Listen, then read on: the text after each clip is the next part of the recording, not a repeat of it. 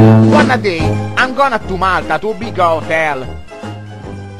In the morning, I go down to eat a breakfast. I tell a waitress, I want a two pieces of toast. I tell her, I want a two piece.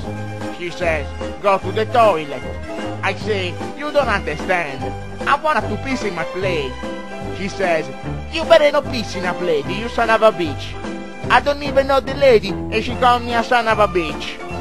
Later, I go to eat to a big restaurant. The waitress brings me the spoon, the knife, but no fuck. I tell her, I wanna the fork. She tells me, everybody wanna fuck. I tell her, you don't understand. I wanna the fuck at the table. She says, you better not fuck at the table, you son of a bitch.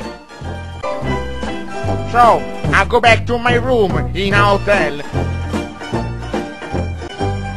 And there is no sheets on the bed. Call the manager. I tell him, I want a sheet. He tells me, go to the toilet. I say, you don't understand. I want a sheet on a bed.